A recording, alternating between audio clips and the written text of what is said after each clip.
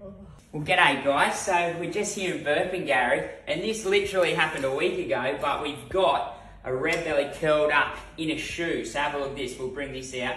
This is the Vans, and this is not where you want your snake. So little red belly black snake, and you'll see he's just curled up. In fact, you wouldn't even see him at the moment.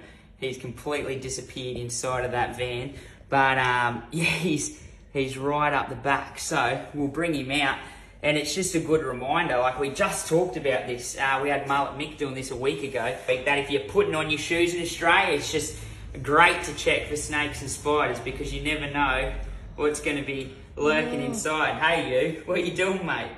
So, red belly black snake, that's a highly venomous snake coming out of that shoe just there. Jesus. There we go. I'm going to grab you. Come on. There we go. So, we've got you. Yeah, so highly venomous snake. Obviously, you never want to get bitten, and if you were bitten, you'd have to go straight to the hospital and seek medical attention.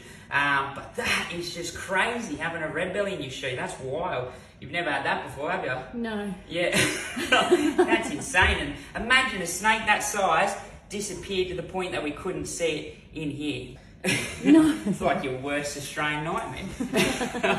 well, we'll get him out of here and we'll go release him somewhere well away from everyone's shoe collection.